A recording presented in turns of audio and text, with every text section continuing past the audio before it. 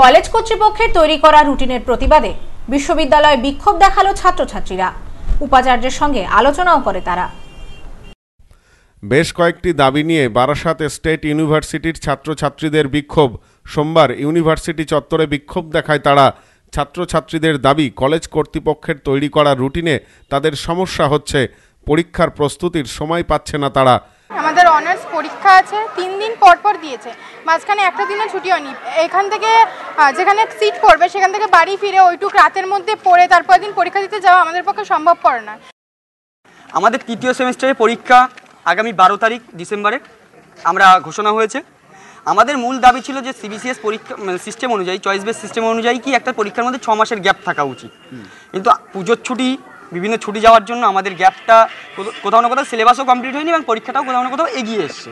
তো আমাদের প্রথম দাবি ছিল যে সিবিসিএস সিস্টেম অনুযায়ী যে ছ মাসের গ্যাপটা আমাদের গ্যাপটা দেওয়া হোক এবং আমাদের পরীক্ষাটা পিছিয়ে দেওয়া হোক। বিশ্ববিদ্যালয়ের উপাচার্যের সাথে আলোচনাও করে ছাত্রছাত্রীরা। আলোচনায় সমাধানের পথ অনেকটাই প্রশস্ত হয়েছে বলে দাবি তাদের। উপাচার্য বাসব চৌধুরী বলেন চয়েস বেসড ক্রেডিট সিস্টেম চালু হওয়ায় একটি নির্দিষ্ট সময়ের মধ্যে মূল্যায়ন শেষ করতে হবে, যার ফলে একটু সমস্যা হয়েছে।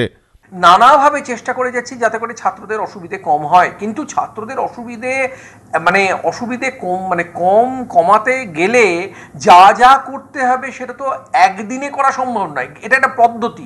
এই পদ্ধতির মধ্যে দিয়ে আমরা চেষ্টা করছি ক্রমাগত যাতে ছাত্রদের মানে ছাত্রদের যাতে সুবিধে হয়।